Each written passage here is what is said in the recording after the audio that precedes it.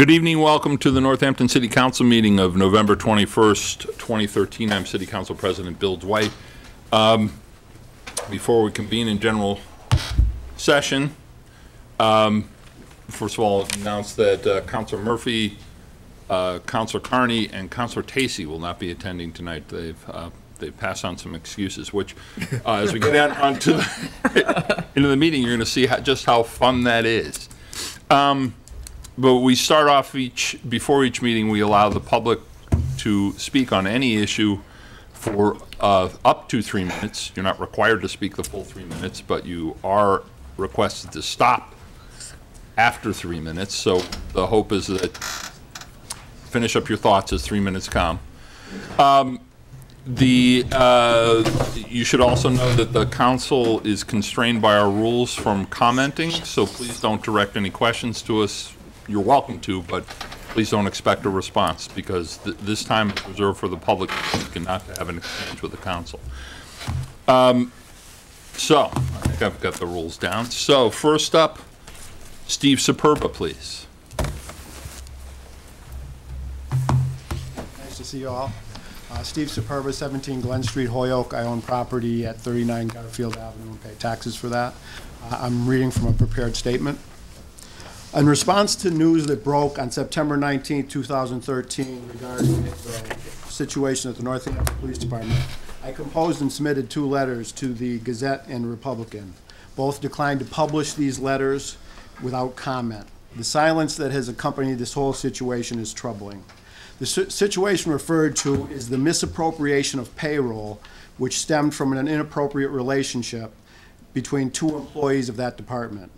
A significant aspect of this case is that it is a potential civil rights violation, one made more untenable by the fact that it is proscribed by city policy, a policy of such significance that employees are required to read and sign it annually.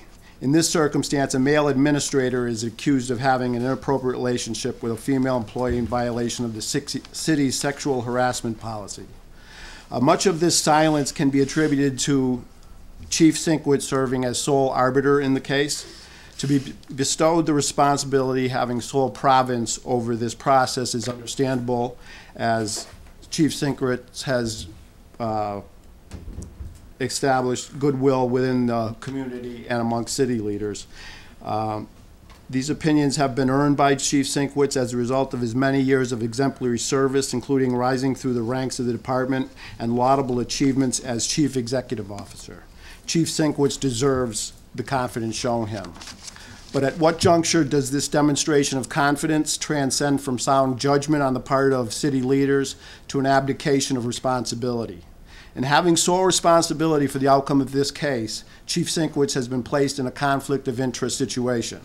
He is not only being asked to decide the fate of an individual that can be considered his equal and who has been an integral part of his administration, his administrative team, is also being asked to review and objectively evaluate information that has the potential to ultimately impact his own reputation and legacy. Please reassess your approach to this situation. Rest the responsibility of the handling of this case from Chief Sienkiewicz and place it into fresh pair of objective and impartial hands. History will be the judge, but there is much at stake, including a future review by the court in the probable instance of a sexual harassment lawsuit. At that time, one of the deciding factors in the imposition of financial damages will be the manner in which it is handled by the city.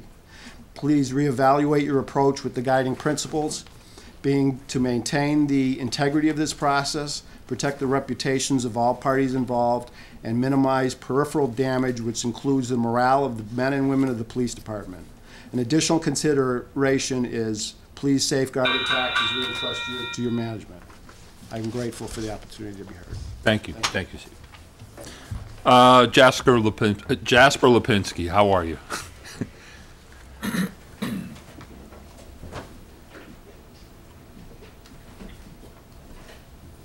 It's still Lapiensky, Bill. Um, I'm sorry, and I, you know what, I struggle with it, and I knew I was pronouncing it wrong, and I, I'm sorry. I'm sorry. So I saw in the uh, agenda that there was another street acceptance tonight, and so I figured it was a, a nice time to uh, say something about plowing the bike trails, which happened last year, in part. Um, I would suggest there are other parts that ought to be done. Um, but more broadly, I am speaking about the principle here. We got the, the practical effect of getting it done. It was used. I think it was really beneficial to the city. I'm glad that it's going to happen again. Um, it doesn't lose sight of the fact that the, the city at large is further along, um, I think, than most places in the country. But we aren't at the point yet where we see the not not just the bike trails, but all of the bicycle and pedestrian and non-motorized infrastructure, right? Sidewalks, crosswalks, etc., as a means of transportation. We see it almost as you haven't started my timer, by the way. Okay. We'll spot you a minute. How's that? So, You haven't. Uh, where was I?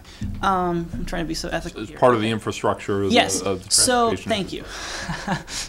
um, right. So it's it's not. It hasn't really achieved parity in our minds as far as being transportation. We still see it as recreational. Um, crosswalks are great for shoppers. Sidewalks are great for getting from one house to another.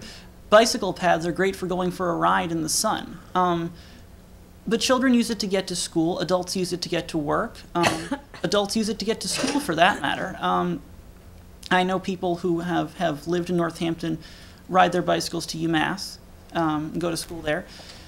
So there's a lot of value in it that has to do with the economy and the livelihoods. And just as an example, when, when we make a new road, we put two lanes on it. We don't always put two sidewalks. That's the kind of parity that I'm talking about.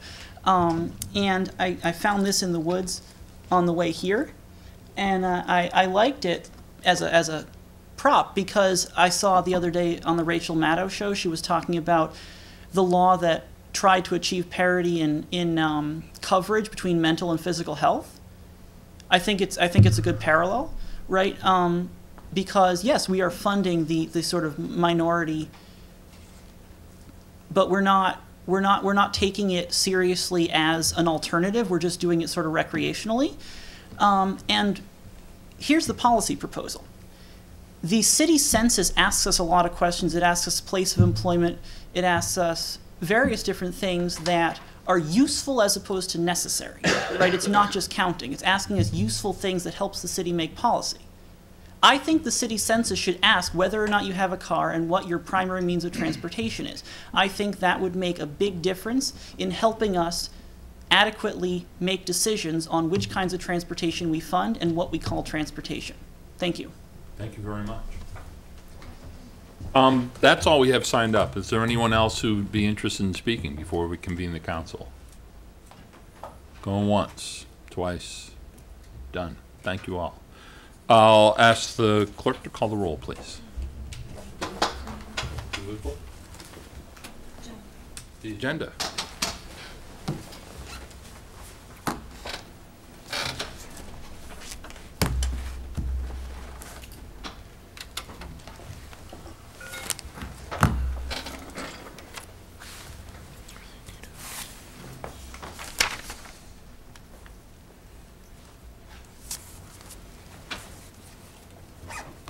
Here it comes.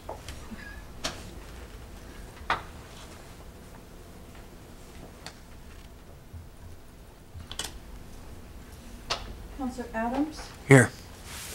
Counselor Dwight, Here. Counselor Freeman Daniels, Here. Counselor Labarge. Here. Counselor Schwartz, Here. Counselor Steph. Here. We've determined we have a quorum, barely. Um, So we'll start off, um, we have no public hearing scheduled tonight. There, uh, the mayor is here and has a proclamation to read. Honorable members of the city council. I have a proclamation that I'd like to deliver uh, this evening. Um, It's entitled Small Business Saturday, November 30th, 2013. Uh, And as some of you may or may not know, um, this is a a day that's been designated nationwide um, to recognize uh, small businesses and the contributions of small businesses. So uh, it's in that spirit that I offer this. Whereas the city of Northampton, Massachusetts is proud to be home to the many growing small businesses that create jobs, generate consumer spending, and maintain a high quality of life. And whereas in Northampton and Hampshire County, over 3,400 businesses out of 3,544 are small businesses employing less than 49 people, which makes small businesses a very important part of our communities.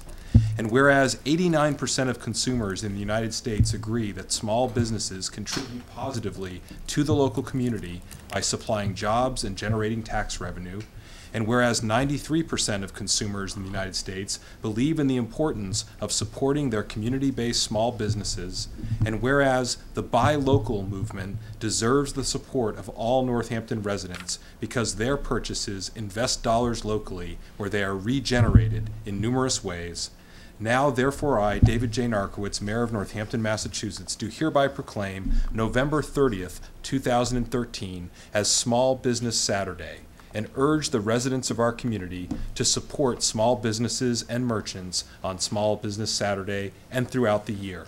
In witness whereof, I have set my hand and affixed the seal of the city of Northampton. Um, I note that uh, Dan Yacuzzo is here from the, from the uh, Business Improvement District, and uh, actually, I think I present this to him on behalf of uh, small uh, businesses in Northampton, so. Mr. Mayor, thank you. Dan, you want to speak to that? I would love to. Uh, Dan Yacuzzo, uh, of 88 North Elm Street, and I am the Executive Director of the Northampton Business Improvement District. Um, I can only say uh, thank you to all of those who um, make the effort to support small businesses. It takes a great deal of effort in this economic climate with the, uh, with, with, with the leveraged competition that uh, small businesses have. Um, it's, uh, it's a tribute to our sense of community for those who support those within the community. So, so we are better off. So we are better off as a uh, as uh, a, a, city and as uh, as employers and employees. As a former employer, um, I can tell you that. Um, I was always grateful because I knew that I had uh, a community support. So, um, Small Business Saturday is the, the day after Black Friday, which is not necessarily a day that, that we celebrate as well here in Northampton. But I would ask that all, uh, people, all the people, continue to make an effort to support our uh, our small businesses and, and uh, those who uh, who live within this community. Thank you. I, and I would add to that, that um, an investment in, in, in small locally owned businesses is, is an investment in the community that comes back. There are returns for everybody in, within the community. You know, there are, and uh, we, we met at the chamber office today to talk about um, the money that goes back into the community, especially to the, to, to the nonprofits um, from the, from those businesses. And uh, it, it, it it leverages so much more support for, for those uh, nonprofits because of the support that the non, uh, that the- the local businesses uh, receive from, uh, from, from the community. So it, it is a two-way street. Uh, and, and the payback is, tr- is tremendous. And, and it's also, you know, we are the envy of, of most small cities. Um, by, you know, by the nature of the, of the creativity and the entrepreneurship of our, of our small business owners, we are, we are the envy. And, uh, and, for us to stay that way, it, it, you know, it, it demands that hard work on the part of the consumer, and the local consumer has continued to work hard to support small businesses. And again, on behalf of, uh, of those business, uh, businesses, I say thank you. And thank you. Thank you. Um, we had, um, a resolution scheduled at this point, and there's been a request from Counselor Tacy. It was a resolution to, uh, recognize and establish, uh, to become part of a community that recognizes, uh, the, the good work and sacrifices made by, uh, Purple Heart recipients. Um, Counselor Tacy, as a veteran, has requested that he, uh, we postpone the resolution until our next meeting when he'll be able to vote on that. And um, since there is no time pressure, um, e- accepting the council's pleasure, I would ask that we postpone until that time. Yeah. Is that okay? Okay. Um, Now we're up to licenses and petitions. Oh, no, I'm sorry, one-minute announcements. I'm sorry. Uh, Any councilors have one-minute announcements? Uh, Counselor Adams? this Saturday, in addition to Small Business Saturday, the Northampton Senior Center and Community Center on Conz Street will be hosting its seventh annual Holidays Craft Festival and Sale from 9 a.m. to 2 p.m. And there will be craftspeople from all around the area. Lunch in Mary's Bistro, um, and coffee and gift shop will be open. That'll be from 9 to 2 this Saturday. So I hope people can stop by. Thank you. Counselor Schwartz. Uh, Ward Three, Ward, Ward Three Neighborhood Association and Councilor Freeman Daniels and myself, we are co-sponsoring a forum, uh, well, for anyone who wants to learn more about the stormwater um, and utility ordinance. Um, It is on Monday, December 2nd, um, at 7 PM at Bridge Street School Cafetorium. So come one, come all. Counselor Spector, I suspect you have something similar to say. Yes, and on Tuesday, December 3rd, Ward 1 and Ward 2, so Councilor Carney and I will be sponsoring a similar forum um, on stormwater and flood control at the uh, Hampshire Regional Y at 7:30, so that's Tuesday, December 3rd. So I hope you were right about the 2nd, because I'm just I've been- I've Okay. been confused about dates, so yes, I'm sure, Exciting no, I'm sure. Counselor Labarge? Yes, and um, we will be doing the same form, and it will be December 12th at the Ryan Road School from 6:30 to 9. Also, mailers will be going out, or uh, brochures will be going out to every household in the, in the city. I think they're going out today. Uh, That will have those dates, times, and places listed, and I believe the city website will also have those available for you. Uh, If you have any questions, also, you're welcome and invited to call your counselors, and I encourage everyone to come. Uh, This is, the- these are educational forums, and the purpose of which is to bring us all up to speed so we understand the, uh, the need and also to understand the means by which we will subsidize that need. Um, okay. Oh, Counselor Adams? Also, the Florence Civic and Business Association will host its 24th annual holiday parade on Saturday, November 30th. And um, it'll start at Trinity Row and we'll go down Main Street to the Civic Center. Uh, the parade begins at 10. That's Saturday, November 30th. y- y- you should know, the, the Winter Farmers Market, which used to convene uh, until uh, the end of last year at the old Dynamite Space in Thornes, um, lost their home, and consequently, a number of people lost their spirit to live because the, the prospect of not having, uh, again, local farm provisions uh, for winter, winter farm stock, there was no access to it. That problem's been solved, and I'd like to say, I'd like to give credit where credit is due, in large part to the, a brainchild from Counselor Adams. He, he recognized that Smith Vocational and Agricultural School, high school, is just up the road, and uh, recommended that as a possible location. The superintendent and the principal and the uh, maintenance, uh, the the maintenance supervisor all agree that this is this is a perfect solution. So the Northampton Farmers Market will uh, Winter Farmers Market will convene, will open for business this Saturday, starting at nine o'clock in the morning and go till two p.m. at Smith Vocational School and Agricultural High School, and uh, I commend it to your attention because it's it's well worth it. And I, I understand there's some kind of feast coming up or some such uh, on Thursday next that might be appropriate. I don't know. I won't be here. So, um, this, I have an announcement from the district attorney's office. Unfortunately, it's announcing something happened yesterday, so I'll spare you that. Uh, I, my, my apologies to the, to uh, DA Sullivan, so. Any other announcements? Okay. There is a petition for, uh, I'm sorry, this, uh, a petition for a license, uh, as a dealer in secondhand articles at 375 South Street, Northampton.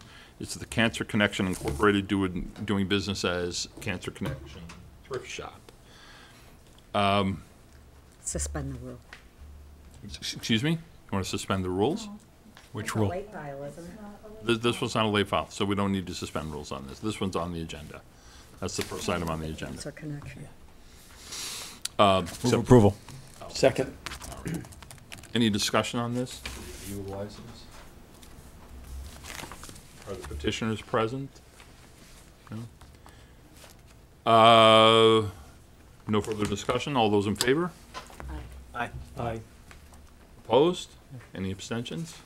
Thank you. Uh, This is a petition for street acceptance, Cook Avenue. This is uh, a portion of, uh, to refer to the Planning Board and Board of Public Works. Is there a motion to refer? Move to refer. Second. Any discussion? All in favor? Aye. Aye. Opposed? Now we have a late file. This is uh, Jeffrey Miller, doing business as Cosmic Cab uh, Company, uh, 3 Market Street, number 4, Northampton. Um, This is, uh, the vehicle identification is 06 with a capacity of 7 passengers. Move, move suspend the late file rule.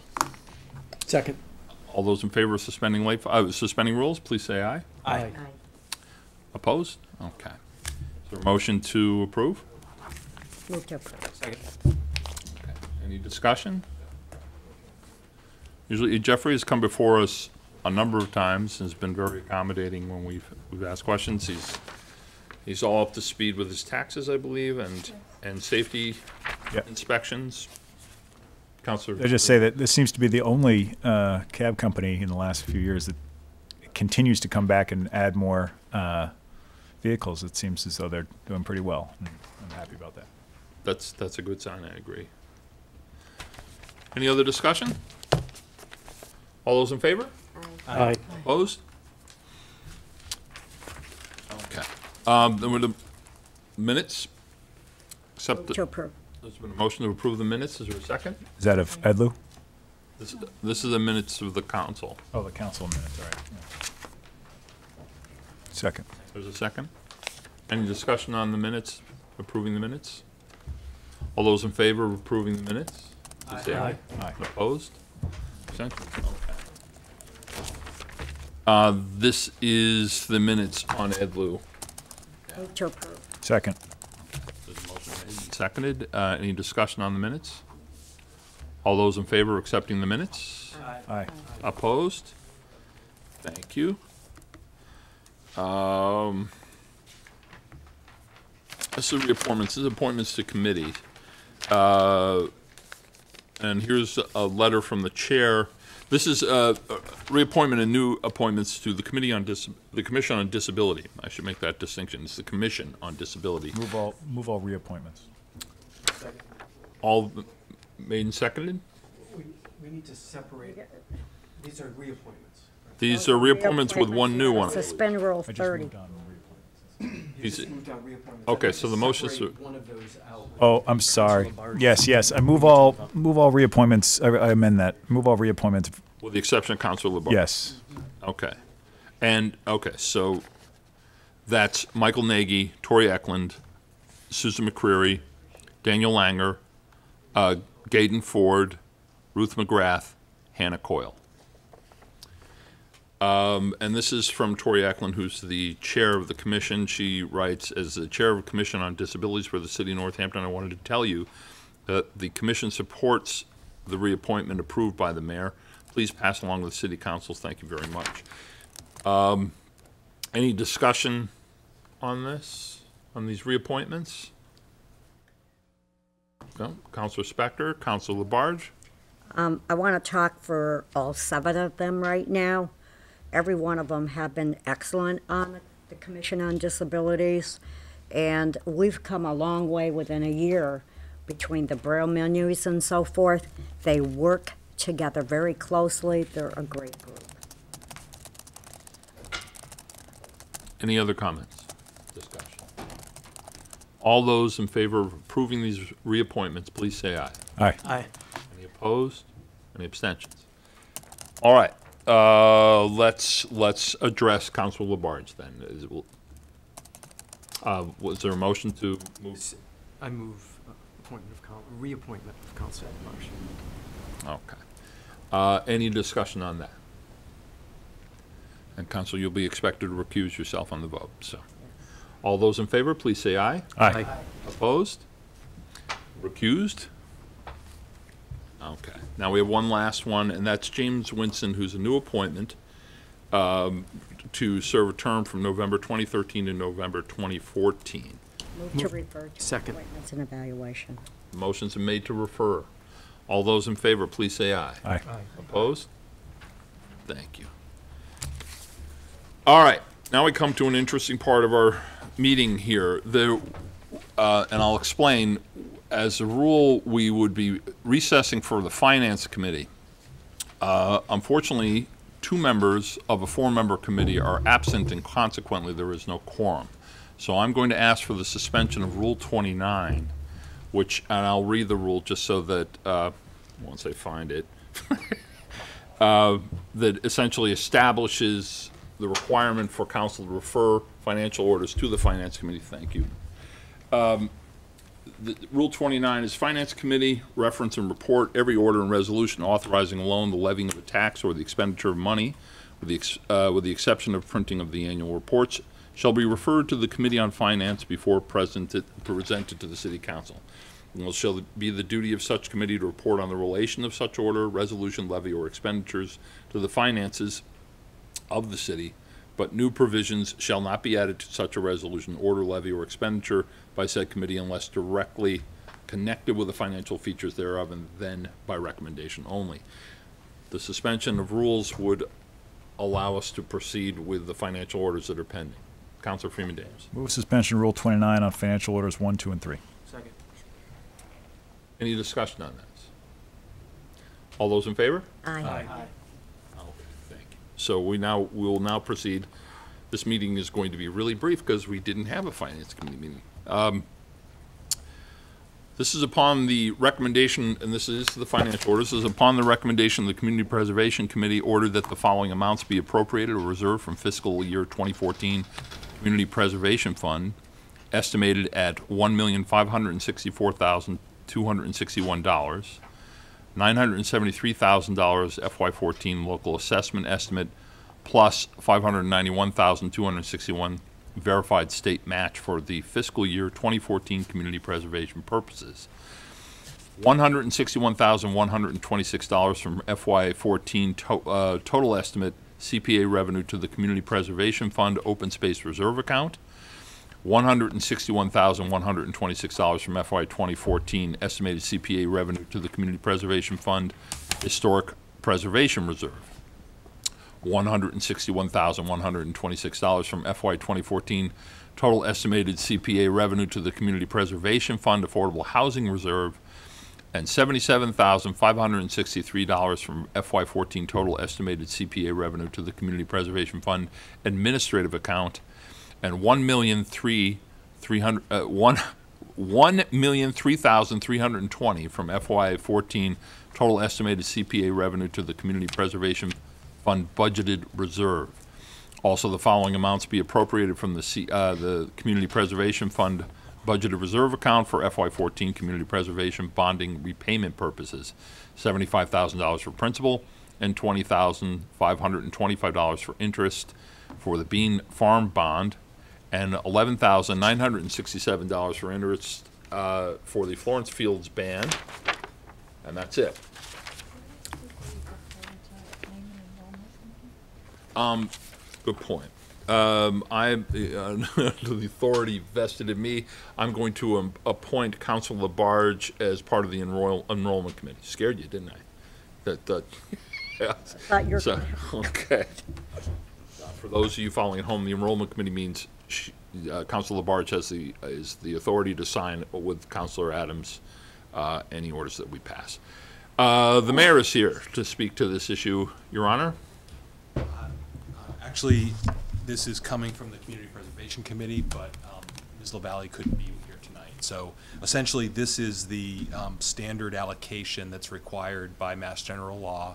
So um, ten percent must go into the open space account, ten percent must go into the uh, Historic Preservation Reserve, ten percent into the Affordable Housing Reserve. The five percent is the administrative uh, uh, allocation for the administrative expenses. The rest goes into that uh, uh, the remainder just goes into one fund. Um, And then we've got the um, required uh, payments for the Bean Farm and the Florence Fields uh, bond authorization. We're requesting two readings on this because it's important that these are in place in order for uh, the finance director to be able to set the tax rate, um, which you'll be dealing with later on this evening. So that's why we're requesting two readings. It's non-controversial. This happens every year. It's been delayed because we were waiting to get the final numbers as to how much had been raised through the CPA so that we could then make these allocations. You were waiting to hear from the state. Uh, yes, exactly, yeah. Um, So that was a little bit delayed this year, so. Once again, the state setting the deadline and then making it as difficult as possible to get to that deadline then. Okay, that was my comment, I'm sorry. Uh, any, any questions of the mayor relative to this issue? Is it, is there a motion to, is Move to approve. there a second? Second. Okay. What, we gotta pick up the slack for the councilors who aren't, aren't here. Um, okay, uh, discussion on this. Counselor Freeman Daniels. These, um, pres- these reserve accounts, they're required by the state, is that right? By Uh, the uh, state, by the state, right, the state- enabling legislation for CPA? Right, the, the, pro- the, these are proportional to the state mandate, right? CPA law requires us Right. set up these accounts. So it's easier for them to check at the end of the year whether we spent the right amounts. All right.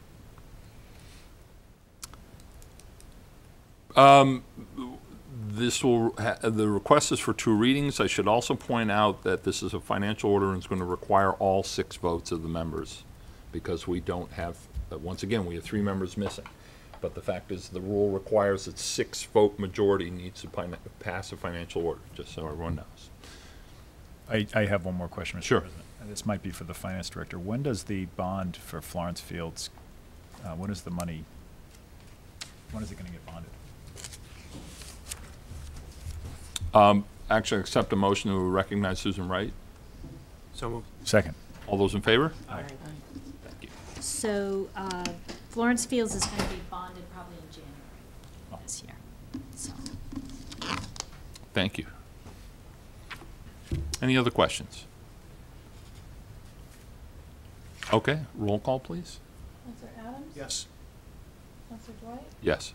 Counselor Freeman Daniels? Aye. Counselor Labarge? Yes. Counselor Schwartz? Yes. Counselor Spector? Yes. Is there a motion to suspend rules? Suspend Rule 14. Second? All those in favor of suspending rules, please say aye. Aye. Opposed? Okay. Move to approve.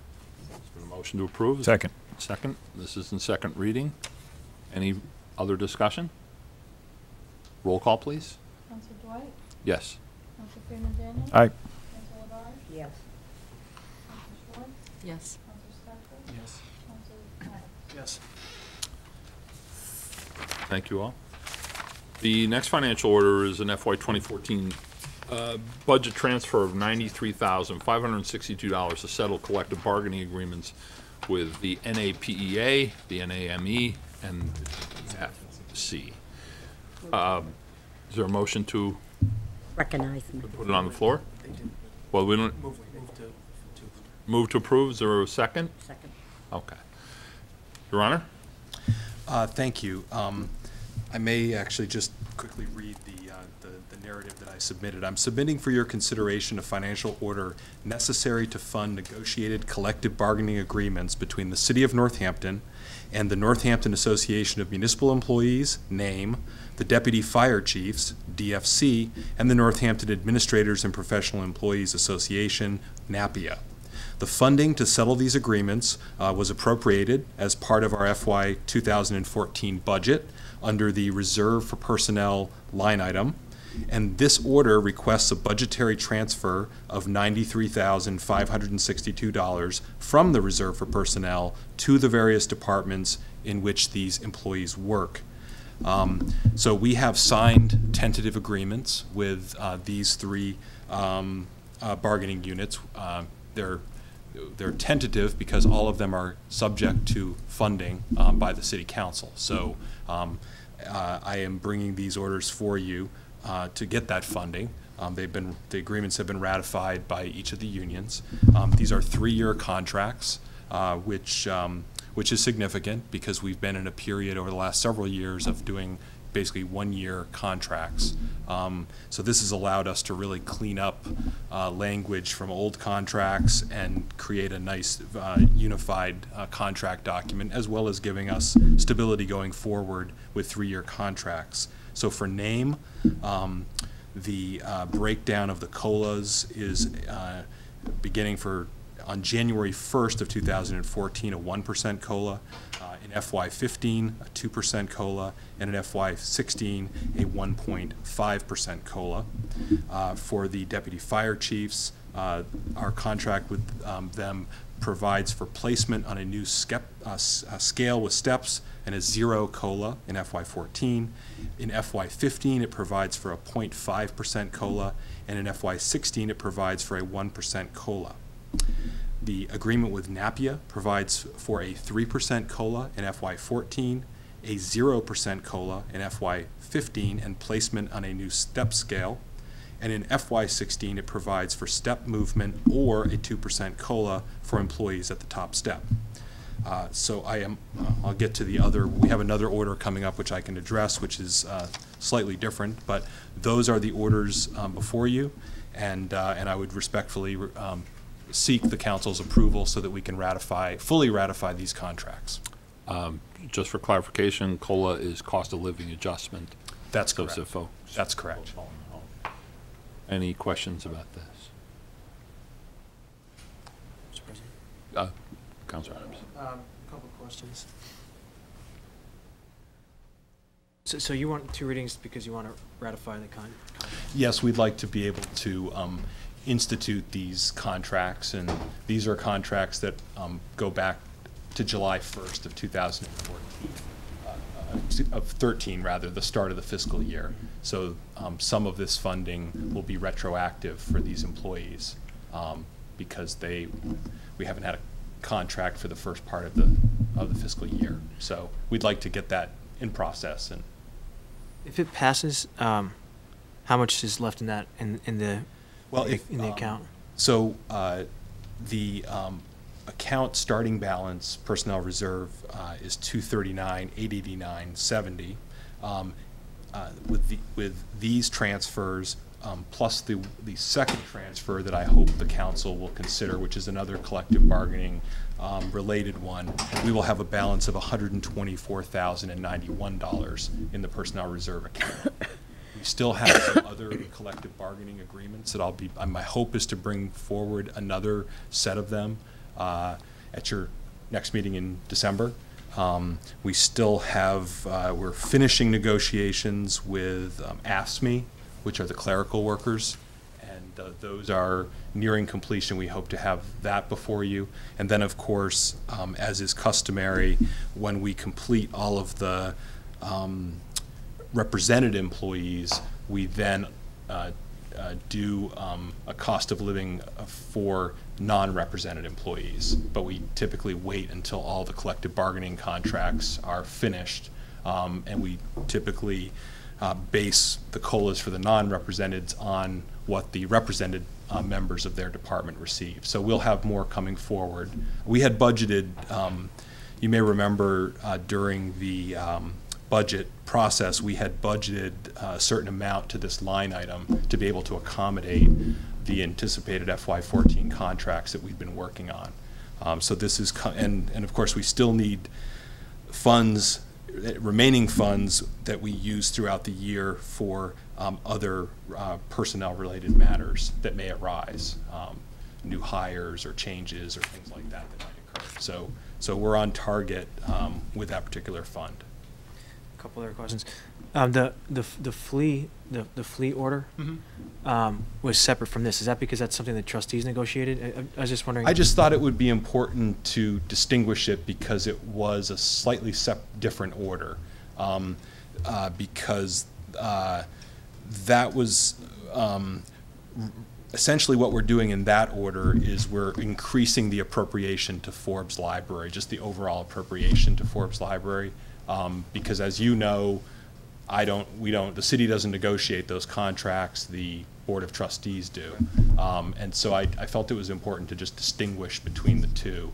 Um, So that's why we did it on a separate order, just so there wouldn't be confusion, um, that somehow these were city unions or, or, um, so we just thought it was, and and as you know from the actual order itself, the order, for those at home, these are actually, it's broken down into many, many small pieces because it's going into each individual department where these uh, employees work. Whereas in the case of the library, we're just making an increase to their overall budget.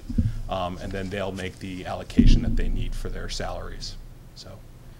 Um, and, and th- this order, I guess in this order, you chose to put all these, um, bargaining units together, but if the council wanted to, we- we could separate them, right? I mean, just, yeah, just, Most definitely, yeah. just, I mean, just, We, we, uh, again, we had, these are the three that we had completed, and so we wanted to uh, just bring them together as a consolidated order, but we certainly could have done that um, sep- into separate orders. And the final question is, if you happen to know, or the finance director knows off the top of your head, um, how many employees are in the deputy fire chiefs union?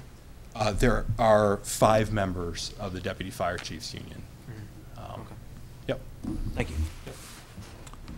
And I can, uh, there's 57 members of uh, NAME, um, and there are 55 members of NAPIA. Thank you. Just for reference.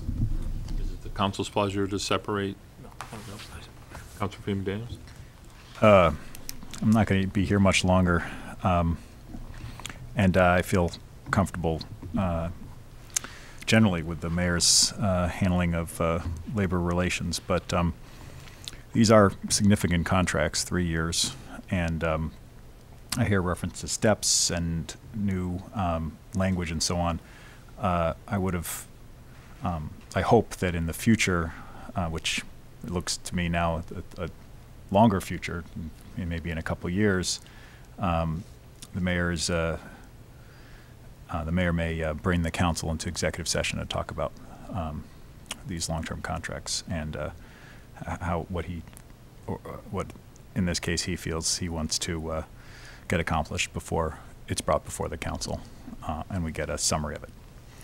But uh, I feel, as I said before, I feel comfortable with these and uh, ready to vote on these tonight. But uh, I do think that the council can exercise greater scrutiny, like it has in the past, regarding a particular department over the over all the contracts, and uh, ask for an executive session with the mayor. Thank you. Any other discussion? Roll call, please. Council Freeman Daniels? Aye. Council LaBarge? Yes. Council Short? Yes. Council Spector? Yes. Council Adams? Yes. Council Dwight? Yes. Suspend Rule 14. Second. Motion made and seconded to suspend the rules. All those in favor, please say aye. Aye. Opposed? I'll accept a motion. Uh, move to approve on second reading. Is there a second? Okay. Uh, Any further discussion? Roll call, please. Council LaBarge? Yes. Council Short? Yes. Council Spector? Yes. Council Adams? Yes. Council Dwight? Yes. Council Freeman Daniels? Aye. Uh, Next up is, you heard it referred to, this is the following uh, budgetary transfer to be made. Uh, This is uh, budgetary transfer of $15,399, collective bargaining of Forbes Library Employee Association with the unfortunate acronym of FLEA that you heard. Um, And the mayor has already spoken to this, but you can elaborate more. I think actually you pretty, you you broke it down pretty well, the Yeah, I- the again, this was, this was a request made to me by the trustees and the library director, um, who uh, met, uh, who updated me on the status of their negotiations, and, um, and this additional funding would be needed to be allocated to their budget, um, in order to, uh, allow them to, to make this agreement. Um, And the allocation of their budget is made by elected members of the community. So they are dis, uh, um, um, Counselor Adams, former trustee of the Forbes Library, that the, um, so everyone understands how the, how the, the lines of authority work on this. Any questions on this? Move to approve. Second. Second. It- Okay. I thought, uh, roll call, please. Council Short? Yes. Counselor Spector? Yes. Counselor Adams? Yes. Counselor Dwight? Yes. Counselor Freeman Daniels? Aye. Counselor Barr? Yes. Suspend Rule 14. Second. Motion's been made to suspend rules. All those in favor, please say aye. Aye. Aye. Opposed? Motion To for the approve. second readings? Okay, there's a motion. Is there a second? Second? Okay. Uh, Any further discussion? Another roll call, please. Yes. Yes. Yes. Counselor Freeman Daniels? Aye. Yes. Yes. And now we come to the second reading of the, uh, of setting the tax rate for the city of Northampton. Um, Accept a motion, put it on. Second. Second. Any further discussion? The tax rate, the factor of one? Factor of one. This is, yes, so the Northampton City Council, the motion is the Northampton City Council approves for fiscal year 2014 a residential factor of one in enclosed levy percentages. Um, Thank you, that's an important distinction to make. Um, The, the the discussion and the debate, and, and in fact, actually, I- just a- appropriate to this is that uh, Councilor Adams and I have, uh, at a citizen's request or recommendation, are considering establishing an ad hoc committee to study the uh, potential abatement prospects for the coming, for the next fiscal year, when we review the tax rate again, um, and to just investigate the appropriateness and the effectiveness of adjusting any rates so that we can become a little more informed when we, when we have this debate next time. Council Freeman Daniels. Just, you, you mean the abatement process or the, some of the exemptions and credits? Well, I think, I think, uh, personally, I would like the discussion on all of the, the whole thing. Um, I'm not, we haven't, we- we- we've, we've only knocked it around on an email so far, so, and- but, I mean, I think they're worthy discussions. And it's, and there are a few things that we do more importantly than actually this, the, uh, than set the tax rate for the community. So, um, at the very least, we should be as informed as possible going into that debate and discussion. Well, this, this is the moment where we get to raise taxes.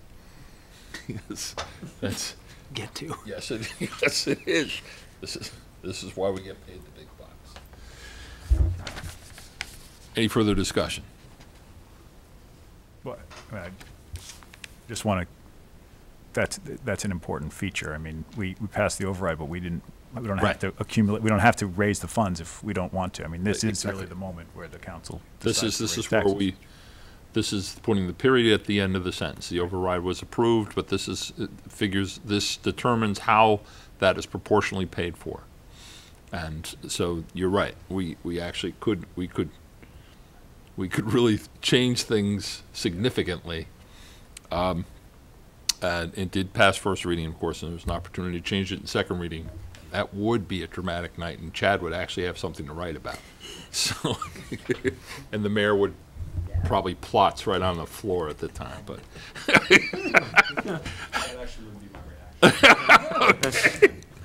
All right, well, it's a family program, so, um, any further discussion? Roll call, please. Counselor Adams? Yes. Counselor Dwight? Yes. Counselor Freeman Daniels? Aye. Counselor Barr? Yes. Counselor Schwartz? Yes. Counselor Spector? Yes. Could you please sign? This is also in second reading. This is the FY 2014 Board of Health budgetary transfers of $23,313 for the reworked Amherst sanitarian contract. You'll all recall the history there. Amherst basically, well, never mind. No editorializing. I'm gonna start- Amherst. approve. Second. Um, uh, I'll accept the motion to put it on the floor. There was in second. Uh, It's made and seconded. Okay, any further discussion on this? Are you ready for a roll call? Counselor Dwight? Yes. Counselor Freeman Daniels? Aye. Counselor Barr? Yes. Counselor Schwartz? Yes. Counselor Spector? Yes. Counselor Adams? Yes. You want, oh, you- up, up, up, up, up, up, up. Um, next up, got one. We're gonna multitask badly here. Uh, this is a financial order. This is a reprogram four thousand seven hundred and twenty dollars, twenty-one dollars and sixty cents for replacement pistols to tactical equipment for police department. This is second reading. Move to approve. Second. Made and seconded. Any, uh, any discussion? This, is this is a common um, scheme of Glock, actually, to uh, make new pistols cheaper than uh, replacing the old ones. Yeah. So I guess we're, we're playing right into it, but it is cheaper, so. It is cheaper. It's like buying an iPhone. Planned obsolescence with, the- with, the- with upselling. Any further discussion? Roll call, please. We don't have a Councilor Aye. Jennings? Councilor Barge? Yes. Councilor Schwartz? Yes. Councilor Spector? Yes. Councilor Adams? Yes. Councilor Dwight? Yes. You laugh, however, the, the fact that you can actually do a 3D printer of a gun, I'm sure that a Glock app is not too far down the pike. You want me to read the whole thing? Okay. This is upon the recommendation of City Clerk Wendy Mazza. This is the results of the biennial multiple uh, municipal election held in the city of Northampton on Tuesday, November 5th. Holy cats, there's a typo here. It's the year 2013 very far in the future when we have Glock apps. Um, a s- Scrivener's error, so it's 2013 B, and it is hereby declared according to the returns of the election officer and the records prepared by the city clerk. Whereas it appears from the records of the several election officers and the records of the city clerk for the biennial municipal election held on Tuesday, November 5th, 2013, that the persons named below severally received the highest number of votes for the several offices herein specified. Be it therefore hereby ordered that said persons are hereby declared elected to such offices as follows. Candidates elected at the bi- biennial municipal election on November 5th, 2013. Mayor, David J. Narkewicz, four years from uh, first Monday of January 2014. City Clerk, Wendy A. Mazza, uh, two years from the first Monday of January 2014. Councilors at large, Jesse M. Adams and William H. Dwight, two years from first Monday of January 2014. Counselor from Ward 1, Maureen T. Carney, two years from first Monday of January 2014. Counselor from Ward 2, Paul D. Spector, two years from the first Monday of January 2014. Counselor from Ward 3, Ryan R. O'Donnell, two years from the first Monday of 24 January 2014. Counselor from Ward 4, Gina Louise Sciarra, two years from the first Monday of January 2014. Counselor from Ward 5, David A. Murphy, two years from the first Monday of January 2014. Counselor from Ward 6, Marianne Labarge, two years from the first Monday of January 2014. Counselor from Ward 7, Alisa F. Klein, two years from the Monday of January 2014. Two members of the school committee at large, Blue M. Duval and Kari Nikrachuk, two years from the first Monday of January 2014. Member of the school committee from Ward 1, Pam Hanna, two years from the first Monday of January 2014. Member of the school committee from Ward 3, Howard T. Moore, two years from the first Monday of January 2014. Member of the school committee from Ward 5, Ann Hennessy, two years from the first Monday of January 2014. Member of the school committee from Ward 7, Downey R. Downey Meyer, two years from the first Monday of January 2014. Three superintendents of Smith, that's, crikey. Uh, It's it's supposed to be Smith Vocational and Agricultural School. It's something entirely different, but this is uh, Michael Kaline, uh, John Cotton, and Tom Fitzgerald, two years from Monday of January 2014. Uh, do- do- do- do. Uh, Elector under the Oliver Smith will, David A. Murphy, two years from Wednesday of May 2014. And two trustees under the will of Charles E. Forbes, Russell Carrier, Marjorie Hess, four years from the first Monday, January 2014. Um, I would ask for a motion to. To approve. Second. Motion's been made. Counselor Adams. I think it's strange that we vote on this, but the voters decided, It maybe it's state law or something. I believe it is. That- What would happen if we don't vote for them? That's what I'm wondering. I, th- this kind of speculation makes me very nervous. Like, I mean, could we separate out individual I'm Not planning on voting against it, but. Well, I think in the interest of, oh, of lengthening the meeting, which is promising to be very short, we could actually review each, each, each election result. I prefer to trust the city clerk on this one, but, but it's entirely up, to it's the council's pleasure. Call the question. Oh, Oh, call the question? Yeah, I'll, I'll vote for it this time, but All right, the question's been called. Does this require a roll call? No, it's not a financial. Let's do one for fun. Counselor Yes. Counselor Short, Yes. Counselor Spector, Yes. Counselor Adams, Yes. Counselor Dwight, Yes. Counselor Freeman Daniels. aye. It's, that was fun. Okay. It's not like I set the bar real high here. Okay. This is in order to seek uh, special legislation to allow the issuance of an annual all alcohol, all alcoholic hotel license over quota to the Fairfield Inn and Suites on Conz Street. Ooh, Uh, second reading. Second reading. Second. And made. Any discussion? So, Counselor so far as we know, this just, this authorizes the mayor to ask the state, petition the state for this. Exactly. We are freeing the mayor to petition the legislature in our name for an over quota license. Um, Any further discussion? All those in favor? Aye. Opposed? Okay, that's passed in second reading. This is also in second reading. This is a permit required for structures on streets and sidewalks, uh, public art. The second reading, I'll accept a motion. Is a mo- Second. Okay. Any further discussion? Uh, I'd like to move to recognize George Myers from the Arts Council. Second. There's motion made to recognize George Myers. All those in favor, please say aye. Aye. Aye. Sorry I didn't sign up for the public comment. I wasn't. That's, no, that's fine, George. Um, I just wanted to say that the Arts Council is here to support this motion. Um, We really appreciate um, Counselor Freeman Daniels and Counselor Adams for reaching out to us about this issue. Um, I don't think I have much else to add, except that, you know, we we do appreciate that, that gesture. Any, um, George, um, I don't know if you heard my, uh, my objections that I expressed. I don't know if you heard those, No, I'm but. sorry, uh, tune in. Well, you- fortunately for you, you can stream it at home on- at, at your convenience. I know what my night's going to be filled Because that meeting went till eleven thirty, if it's any consolation, so th- this one's not.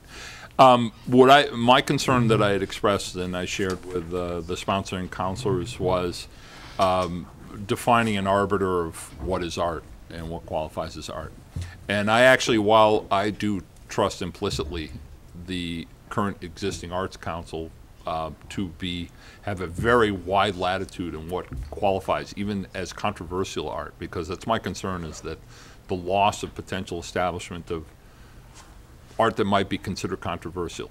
And I know that there are a number of brave souls on that committee who would, who would be willing to um, take some heat for uh, some decisions. Um, But then we're establishing a law that goes beyond this particular group.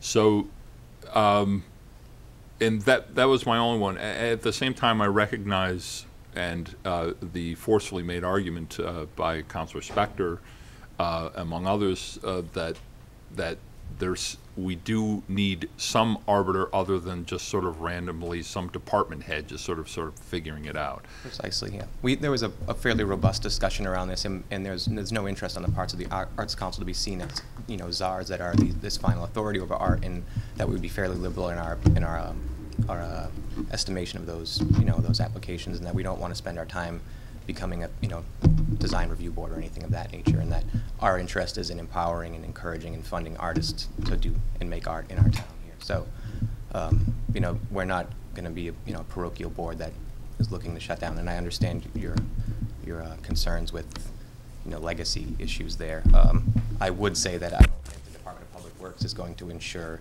in their permitting process that they're, they're going to be the, the ones that will let you, you know, be fairly, fairly permissive in the type of art that gets in the street. So I think the concern is, is, uh, is wider than just wh- where we come down on those decisions. But again, we're not interested in being a bureaucratic, um, you know, red tape stop before artists get their artwork out there. Our, our job is to encourage. Um, you know, that's our charge, is to be there to make art visible as opposed to the, the opposite. I, and I, I would encourage uh, the Arts Council to consider rules that might emphasize that aspect, so that, that in the interest of legacy, that there exist rules with the sense of passing forward that, that, that this is, uh, and I don't, and I wouldn't even begin to know how to phrase this, because I understand it gets down to what is art argument, that, that, that rabbit hole is not worth venturing down right now, but. Like, That's why your meetings run until 11:30. Yeah, it's right. Oh, there is conversation about looking at um, uh, language that has been developed by other, you know, boards and um, towns and at the state level, um, so that they can be fairly broad um, and, and again, permissive in a way that allows us to, to exercise our discretion uh, without being, you know, overly controlling of what can and cannot be out there. Counselor Adams. I also offered um, to work with um, the Arts Council and, and Director Foote on, on creating rules. And um, also for the public's knowledge, um, Arts, um, Arts Department Director Brian Foote wrote a strong letter of support for the, for the ordinance. Thank you. which I have here as well, so. Would you like me to read the letter? Yes, please. Okay. Dear City Council, I'm writing to express my support for the public art ordinance that is before you tonight on second reading. On first reading, the ordinance was passed by a slim margin of five to four. There were concerns by some councilors that the Arts Council could become public arbiters of art and will enforce their specific tastes onto the community. I was an Arts Council board member for three years and a staff member for over a year before taking over as director. I do not share this concern. In fact, we discussed this very issue at the Arts Council meeting when the ordinance was referred to us. And after this discussion, we voted unanimously to refer it with a positive recommendation to the City Council. Further, I believe that you have, you have to have faith in the appointments by the mayor that you, the City Council, confirm to promote the quality, uh, to promote quality public art. It would be a great benefit to the public art of Northampton if the Arts Council were given the opportunity to weigh, to weigh in on public art projects. Such an opportunity is mandated by this ordinance. With or without this ordinance, some entity will decide what public projects will go up. Shouldn't the Arts Council have a voice in that process? Our community prides itself on its arts and culture. It is one of the things that make Northampton a destination city. The public art ordinance before you tonight will encourage high-quality public art. Please pass this ordinance. Sincerely, Brian Foote. And that's entered into the record. Just to supplement what Brian said, you know, it's been, um, you know, it's been great having the, um, you know, the cooperation of the, the council here with the board and working with the mayor on the um, cultural district initiative that's been going on here. So I think an important part of this, a lesson from this, is that that the concerns that are expressed in that vote, which I'm, I'm sorry, I wasn't aware of the five to four vote, um, are things that came up with us too, but w- we feel that a strong relationship with the city council and the mayor's office are th- exactly the type of relationships that would prevent that, those type of negative um, instances from occurring.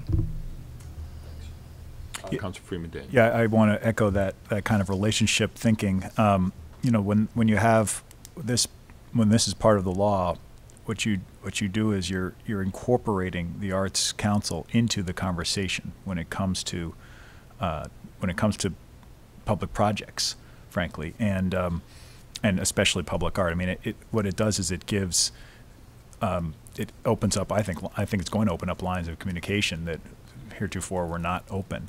Uh, and it's, I think it will probably lead to um, the proliferation, uh, of, pro, excuse me, proliferation of, um, of more art in the public square um, because of this, because it will give the Arts Council a seat at the table, and it will be a, it's a priority for the Arts Council, and it does, isn't necessarily one for um, some of the other uh, departments in the city that have uh, real control over the, the public uh, space and the infrastructure. So um, I think that this will have uh, this will have a lot of upside, as well as encouraging high quality uh, public art in the city. Well, in the absence of a perfect solution, I feel, I, I have come around to believe that this is the best possible solution, given the circumstances. Uh, and I would also encourage us at some point to consider this to extend to performance on sidewalks as well, and in the city, um, for, for the same reasons that this was originally advanced. Are there any other questions? George, thank you. Thank you Thank you. Um, uh, roll call on this, please. Counselor Schwartz? Yes. Counselor Spector? Yes. Counselor Adams? Yes. Counselor Dwight? Yes.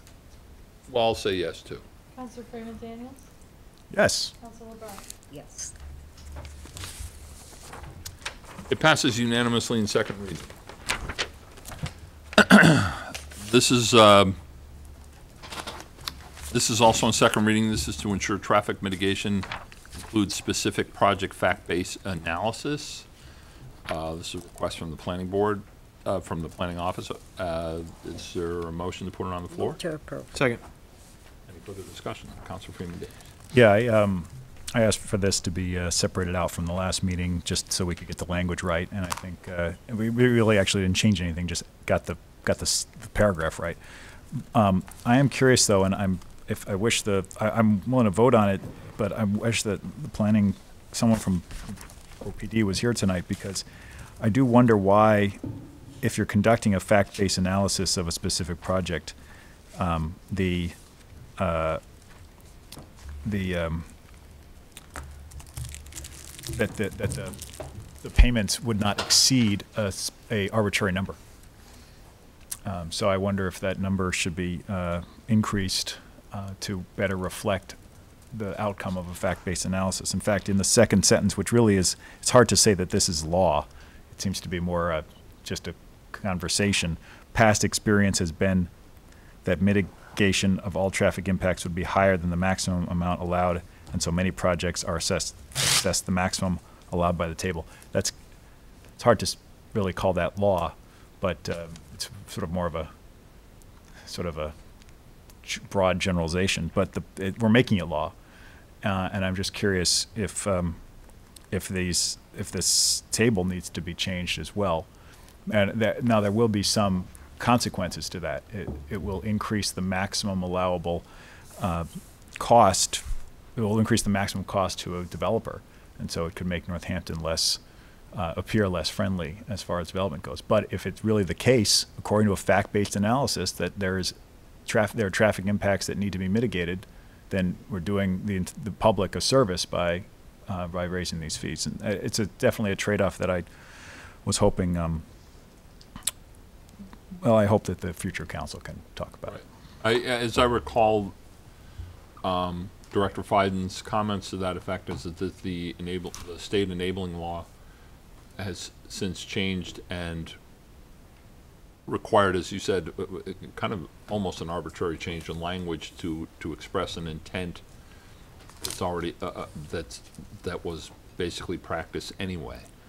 So it's, I, I think what, I'm sorry. no, go ahead, go I think Director Feiden, what he clarified was that the current practice of the, of the planning department is to conduct a fact-based analysis, but it's, that's, that's, it's good though, because that's now mandated by the Supreme Right. Court. So that's the, I think that's the, uh, that's why we're adding this language. But I'm, I'm curious about this maximum amount allowed and whether that can't be adjusted. Um, We know that there's a lot of excellent projects that take place regarding traffic calming um, that come from uh, this, the, this exact paragraph, uh, that the, the law, the laws regarding it. And, um,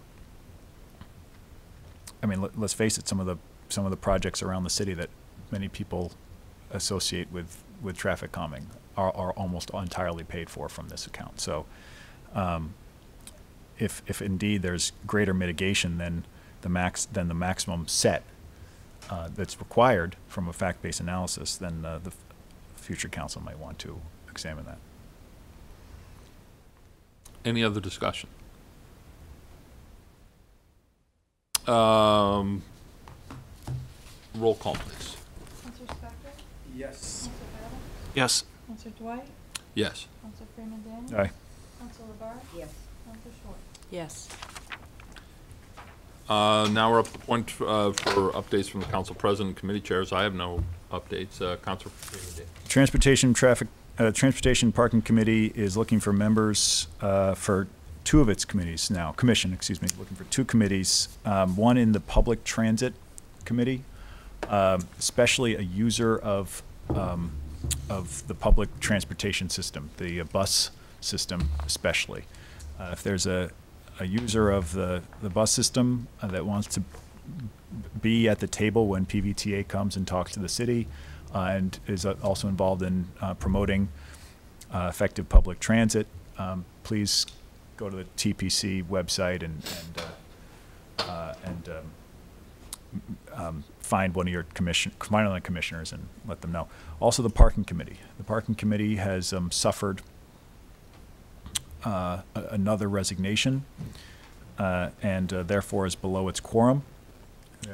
It's looking for um, a member from the business community, especially someone from the central business district, uh, who has an interest in uh, a material interest in the in the parking of the city, and also other public uh, other members of the public. Again, go to the Transportation Parking Commission. You can contact me directly. Uh, And, and, and I should note that it's coincidental with uh, uh, the forums that were conducted by the Energy Commission. Uh, The number one item on uh, energy management in the community is based on transportation. So I would recommend anyone who's, who, who expressed their concerns at that forum investigate an opportunity to be part of that discussion and actually affect policy. Any other chair announcements? Uh, any information requests? I have new business. Uh, okay, new business. I have new business for consideration for next meeting, Mr. President. Okay. Any other new business? Okay. As loath as I am to say this, I'll accept a recommendation to adjourn. So moved. All those in favor, please say aye. Aye. Thank you all very much and have a good night.